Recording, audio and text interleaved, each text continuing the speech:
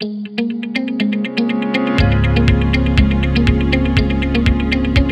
ජනක රත්නායකට එරෙහි යෝජනාව මේ මස්ස අගදී කියලා. මහජන උපයෝගතා කොමිසමේ සභාපති ජනක රත්නායකම තනතුරෙන් ඉවත් කිරීමට අදාළ මැති සභා යෝජනාව අප්‍රේල් මස අවසන් සතියේ පාලිමේතු න්‍යායපත්‍රයට ඇතුළත් කරනු ඇති බව රජයේ ආරංචි මාර්ග සඳහන් කරනවා. මේට පෙර ජනක රත්නායක මහතා මුදල් අමාත්‍යංශය මගින් පිටු දෙකකින් සමන්විත චෝදනා පත්‍රයක් ඉදිරිපත් කරන ඊට පිළිතුරු ලෙස තමන් පිටු විසිපාගෙන් සමන්විත පිළිතුරු පත්‍රයක් ලබා දුන් බව තමයි ඔහු මාධ්‍යයට සඳහන් කරන ලද්දේ. තින් චෝදනා පත්‍රය එනකන් ඔහු මඟ බලාගෙන සිටියා. හැබැයි බලාපොරොත්තු බලාපොරොත්තු වුණු තරම් චෝදනා ප්‍රමාණයක් නැහැ. හුදු චෝදනා පහක් පමණ යොහුට එරෙහිව නගාතිබෙන්නේ චෝදනාවලට මීට පෙරාතුවත් මම පිළිතුරු දුන්න කියලා ජනකරත්නායක මහතා මාධ්‍ය ඉදිරියේදී සඳහන් කර සිටිය.